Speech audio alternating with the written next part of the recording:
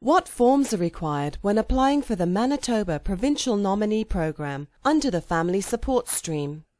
The forms that need to be filled out and submitted when applying for the MPNP under the Family Support Stream include an MAPP Manitoba Provincial Nominee Program application form, an MAS Manitoba Affidavit of Support Form Part 1 signed and completed by a close relative in Manitoba, and the Declaration of Financial Support by Close Relative of MAS Part 2 if required, as well as a settlement plan. You also need to fill out and submit copies of the following Government of Canada immigration forms. An IMM 0008 Generic Application Form for Canada. An IMM 5669 Schedule A Background Declaration.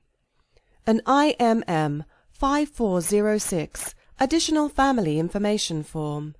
And an IMM 0008 Schedule 4 Economic Classes Provincial Nominee Form. For everything you need to know about this process, click the hyperlink or call the number below this video.